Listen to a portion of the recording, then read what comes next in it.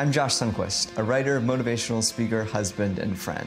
To me, being balanced is about choosing your most important priorities and making time for those above everything else. That's not only spending time with Ashley and seeing my friends, it's staying active.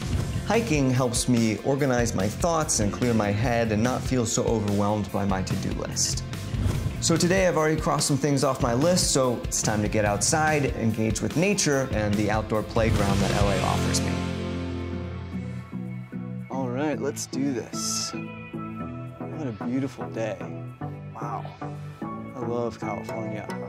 I did not get this weather year-round in DC. Wow, stunning. I should take a picture of this, post it online, and share it with everybody, but mm, know, the lighting's a little off right now. It would look a lot better at sunset.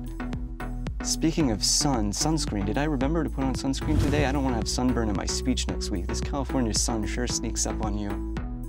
So does this heat. Really could use some ice.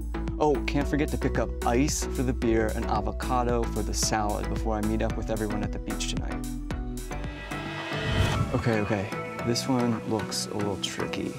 Focus, just don't fall. Okay, I rocked that one.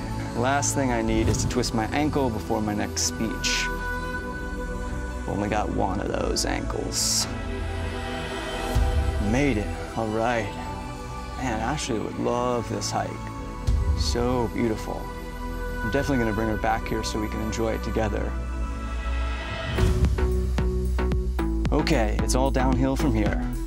Next stop, the store. Being active is key to maintaining a balanced lifestyle, but so is spending time with the people I care about most.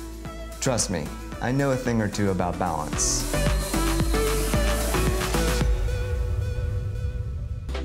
I'm Daniela, actress, YouTuber, girlfriend, and my dog Sophie's mom. And although I'm crazy busy, I always find the time to balance health and fitness, my family and friends, and of course my career.